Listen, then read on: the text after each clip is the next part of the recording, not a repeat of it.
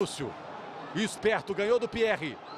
Olha o Moreno passando da esquerda, o toque na frente para o Alisson, posição de impedimento, segunda bandeira. A bandeirinha entendeu que o Alisson estava na posição ilegal. Agora acho que a bandeirinha errou, hein?